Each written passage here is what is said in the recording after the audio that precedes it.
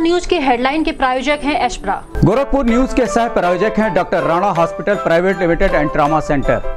Gorakhpur महोत्सव में शिरकत करने आए राज्यपाल ने महोत्सव की की सराहना, कुंभ में आने का दिया निमंत्रण। राम मंदिर पर बोले मामला सुप्रीम कोर्ट में, कुछ भी बोलना उचित नहीं। गोरखपुर महोत्सव में समा बांधने से पहले सुखविंदर सिंह ने कहा, अब पूरी तरह से बदल चुका है गोरखपुर। ढेरों संभावनाएँ नज़र आ रही है वर्तमान में। गोरखपुर महोत्सव का हुआ रंगारंग आगाज़। राजपाल राम नाईक ने किया महोत्सव का उद्घाटन।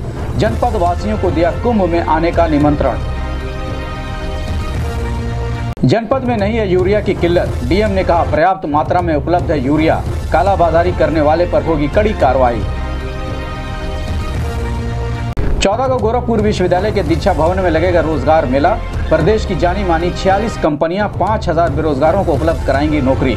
डीएम ने दी जानकारी। मरीज़ की मौत पर परिजनों ने किया हंगामा।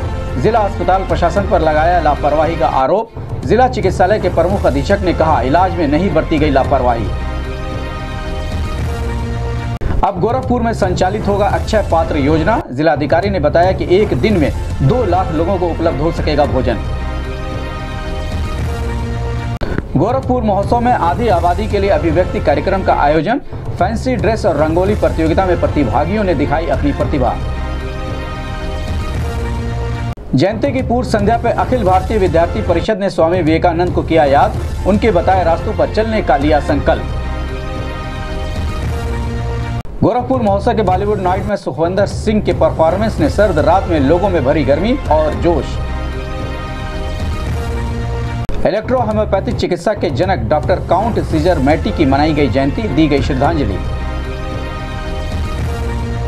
और राज्य स्तरीय फुटबॉल प्रतियोगिता में स्पोर्ट्स कॉलेज सिफाई ने स्पोर्ट्स हॉस्टल हैदराबाद को एक ज़ीरो से हराया।